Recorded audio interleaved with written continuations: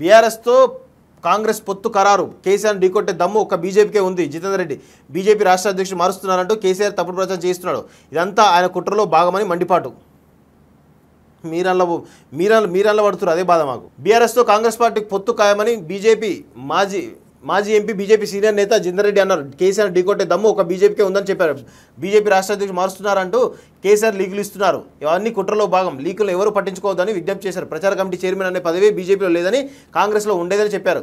కేంద్రంలో బీజేపీ ప్రభుత్వం ఏర్పడి తొమ్మిదేళ్ళైన సందర్భంగా బీజేపీ నిర్వహించిన జన సంపర్క్ అభియాన్ యాత్రను రాష్ట్రంలో ముందుకు తీసుకెళ్ళడంపై హైదరాబాద్ మైనాబాద్లోని జితేందర్ రెడ్డి ఫామ్ హౌస్లో సీనియర్ నేతలు వెంకటస్వామి కొండ విశ్వరెడ్డి విజయశాంతి రవీంద్రనాయక్ బుర్రా గౌడ్ సమావేశమయ్యారు.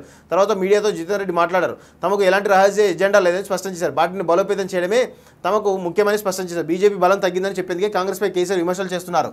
గ్రామ స్థాయిలో క్యాడర్ మనస్థాయిని దెబ్బతీసి సరిగ్గా పనిచేయకుండా చేసేందుకే ఇలాంటి చర్యలు దిగుతున్నారు. క్యాడర్ను గందరగోళంలోకి నెట్టే ప్రయత్నం చేస్తున్నారు. అని జితేందర్ రెడ్డి విమర్శించారు. రాష్ట్రంలో బీజేపీ బలంగా ఉందని ఉప ఎన్నికలో తమ సత్తా ఏంటో చూపించామని పేర్కొన్నారు. బీజేపీతో తట్టుకోలేమని భావించే దృష్టి మళ్ళించేందుకు లీకులు ఇస్తున్నారని వాటిని బీజేపీ క్యాడర్ నమ్మొద్దని చెప్పారు. అన్ని సిస్టమేటిక్గా జరుగుతాయి. సరే ఇక్కడ ప్రచార కమిటీ లేదని అన్నారు కదా. రెండు వేల పదమూడులో నరేంద్ర మోడీని బీజేపీ జాతీయ ప్రచార కమిటీ చైర్మన్గా ఎందుకు నియమించారు? ఉంది కదా ప్రచార కమిటీ పదవి అనేది.